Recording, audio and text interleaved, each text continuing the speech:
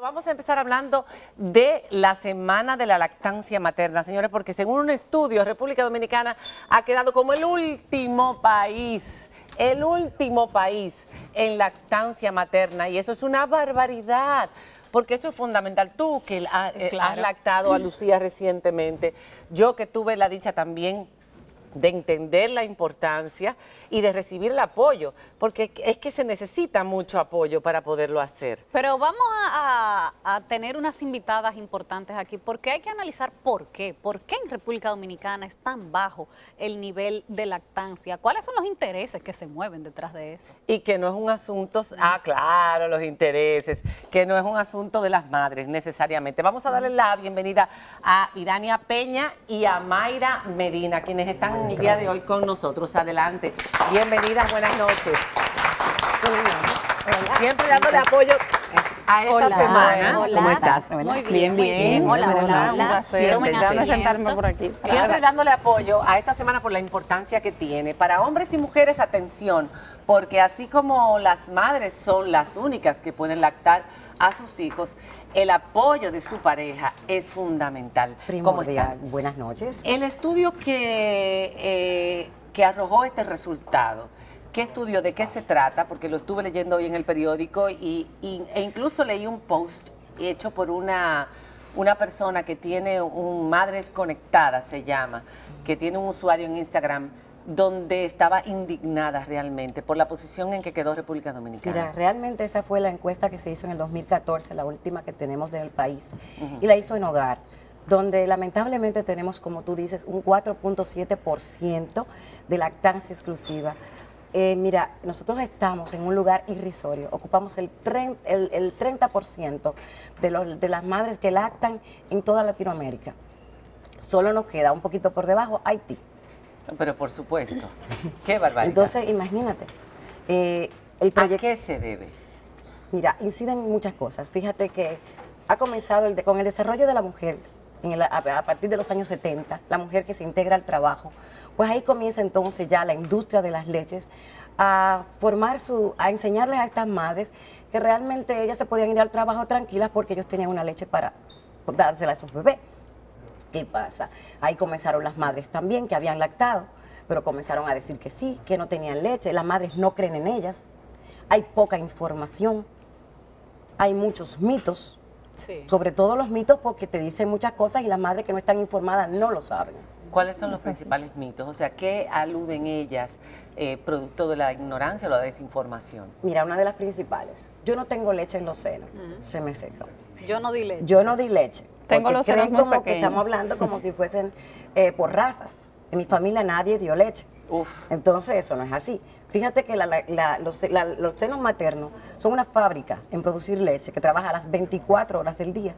Y tenemos que si a mayor succión del bebé, mayor producción de leche. el seno produce la leche cuando el bebé está mamando, cuando el Exactamente. bebé está pegado. Em, es más, no solamente cuando el bebé está pegado, con el solo momento de tú escuchar el llanto El de llanto. tu bebé, ver la carita de tu bebé, ya ahí Se viene- producen reflejos. De una vez comienza ese reflejo. Y una vez se acostumbra a una cantidad de horas determinadas a producir la leche, si tú no has llegado y estás llegando a la casa, inmediatamente sale. el Yo seno, recuerdo el seno sí. a. En la época en que yo lactaba, que antes de yo llegar, de repente tenía en la camiseta estos dos círculos mojados. Yo decía, Dios mío, mi bebé tiene hambre. Ahora, la, reali- realidad es que en República Dominicana tenemos, primero, una alta tasa de partos por cesárea, que ya el simple hecho de tener una cesárea dificulta la lactancia, porque la mujer está dolorida, está, bueno, fue sometida a una cirugía. Pero aparte de eso, es el ofrecimiento en los mismos centros hospitalarios de leche de fórmula para los bebés, las mismas enfermeras, el mismo personal médico. Ah, no te preocupes, pan, y le ponen un biberón. Eh, Esto se viene denunciando hace muchísimo tiempo y sin embargo sigue, Sigue ocurriendo. Sí. pasando. ¿Por qué sigue Hay un pasando? negocio con las productoras, las casas de esta leche. Mira, hay y una los ley, hay una ley, hay una ley, y es una ley muy dura que se hizo ya en, en Latinoamericano, en Latino- Latinoamérica ocupamos el octavo país que tiene esa ley, pero no la, ahí vamos, hacemos igual que la ley de tránsito, No la la aplicamos. cumplimos, no la aplicamos. Entonces la ley es muy dura. Se supone que por receta médica es que debería emitir- debería poder comprar la y madre. por una causa, y por una causa justificada. Pero aquí no, aquí la compras sin receta médica. en el colmado, donde quieran. En el colmado y donde quiera. Exactamente. De Precisa- hecho, de hecho, la leche de fórmula no se puede promocionar. No, y no se promociona, prohibido. no hace publicidad. O sea, la leche No. que es para, para infantes, para bebés, no se promociona en República No. Dominicana y eso es por ley. Sí. Pero, pero la distribución, todos sabemos cómo es. Exacto, pero Claro. perdona, algo que tú decías ahorita, y es que la cesárea eh, impide lactar. No es cierto. Bueno, no es que lo impide, Es- pero- o sea, lo que pasa es que en el personal no te ayuda. El personal que te recibe, el pediatra, yo soy pediatra perinatólogo, y te puedo decir que sí, yo ayudo a las madres que recibo.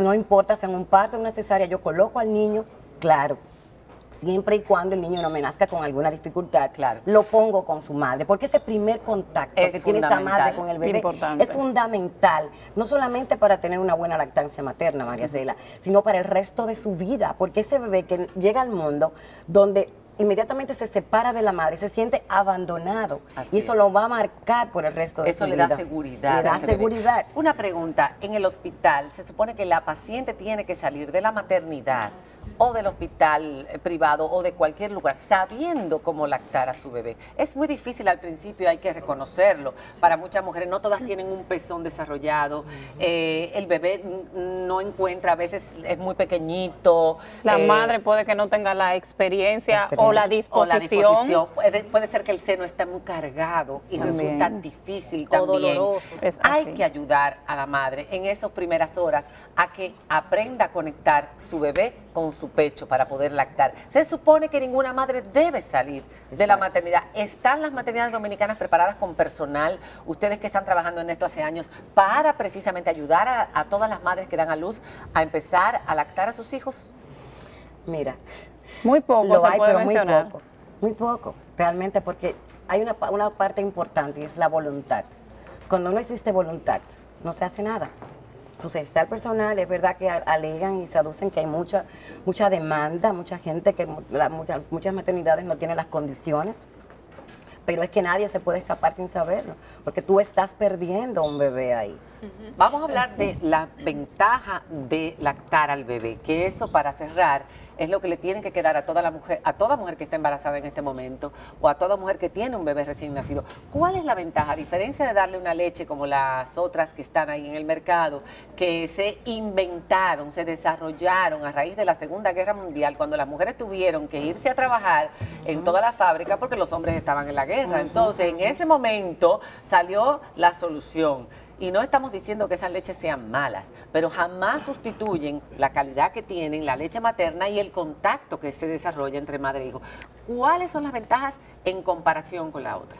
Esto es correcto, como tú dices, no es que la leche de vaca sea mala, sino que es para el becerro. La leche materna es para el ser humano, para los eh, bebés que nacen de nosotros. Entonces, eh, de las ventajas que podemos mencionar, la leche materna es un organismo vivo. Entonces nos transmite muchísimas defensas a nuestros bebés desde que nacen. El calostro, que es lo primero que le Lo sale a la mujer. primordial, lo primordial es lo único que el bebé necesita, aunque sean pequeñas gotas, porque muchas veces pensamos que con una onza, con media onza no se llena, pero tenemos que recordar que el bebé viene con un estómago pequeño y que somos nosotros que se lo desarrollamos. Y ese calostro tiene todos los anticuerpos de la madre que se los pasa a su hijo para protegerlo del medio ambiente. Por eso Esto es tantos correcto. bebecitos recién nacidos con muchísimas enfermedades. La Organización Mundial de la Salud dice que esta es la primera vacuna que el bebé debe recibir. La primera vacuna. Y esto es por la cantidad altísima de nutrientes que tu cuerpo viene preparándose para darle a tu bebé en el momento en que nace.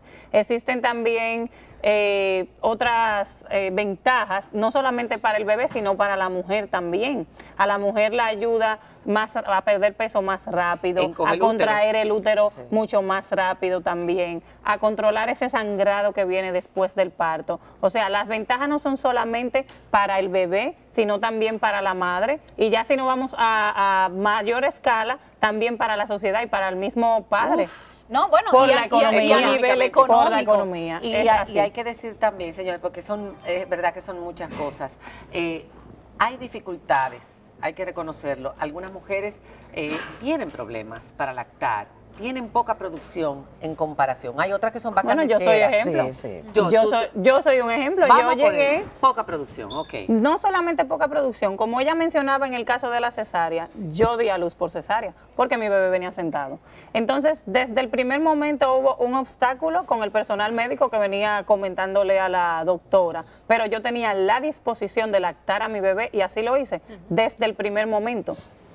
Luego, cuando pasaron los tres, cuatro Perdóname, meses, Aunque tuviesen que llevártelo más veces a la cama, a eso me refiero. Claro que Porque sí. muchas Claro. veces las enfermeras lo que quieren es descansar. no, le y, con la y con mis dolores, le porque fue meten la terrible mi proceso de leche y duerme más. Es así, Pero si tú no produces suficiente, pues tendrás que llevarlo cada hora. Exactamente. Pero tú tienes que tener la disposición también de que Exactamente, eso es lo que hace falta, la voluntad de la madre, pero también la disposición del equipo médico, como usted dice, para que informen a esa madre de cómo hacerlo, porque bien es cierto, no es fácil, pero sí es posible. Por eso existen muchos grupos de apoyo como Prolactar RD, que ayudan a esa mujer a lograr lo que no le enseñaron en esa clínica. Como no la sacaron de esa clínica sabiendo cómo lactar, cómo posicionar a su bebé correctamente para que no se lastime los pezones, eh, todos los procesos que pasan crisis de lactancia, se llaman Incluso así. Bueno, y que, y que se sepa también que aún si llegaste al punto en, que ya pasó una semana de nacido el niño, ya ha pasado ahora un dos semanas de nacido, tú todavía puedes recuperar Claro la producción de leche. Si te Te puedo- desesperaste al principio y le diste fórmula de leche, todavía tienes la oportunidad de recuperar la lactancia y, y producir leche, Mientras- aunque creas es que así. no. Mientras te puedo decir, más, más más, produ- más más produces. Te puedo decir que hemos tenido madres que han relactado con dos y tres meses de haberle introducido fórmula al bebé. Qué bien. Como coordinadora y primero que fui madrina, antes de coordinadora, madrina es aquella madre que ayuda a la mujer a eliminar la fórmula de una manera progresiva, lenta, porque no es de un día para otro, pero sí se puede y han relactado.